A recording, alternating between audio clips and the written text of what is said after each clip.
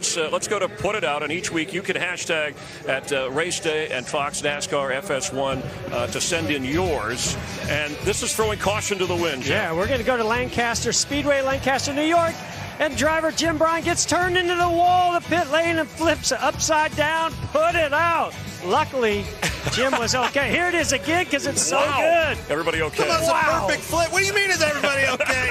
I'm, I, I'm just assuming. All right, uh, I'm going to go a little bit different here since, uh, you know, I usually, I'm used to the push mower, but how about lawnmower racing? This is from 2016 in Morton, Washington. This looks like my some of my family members, my brothers working their lawnmower. It goes through the, through the hay, into the fence. How do you get that driver to calm down? Get off the gas, boy.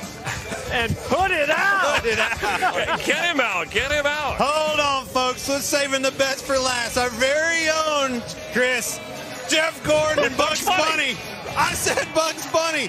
Teeing it up 2002 golf cart race. Watch this. Gordon's on the pole, coming off at two. Where'd Wait a go? minute. Where'd you go, Jeff? you threw yourself off the golf cart. Poor old Bugs come off at two. No driver. Put it out. I can't believe you bailed on Bugs. Ah. Listen, How do you throw yourself off a golf i took the governors off that thing. I went in the corner so fast and turned the wheel. Boom. I gotta say, folks, please submit videos. Somebody on my Twitter sent that to me, and it was the best thing I had all Send week. some more of Clint, please.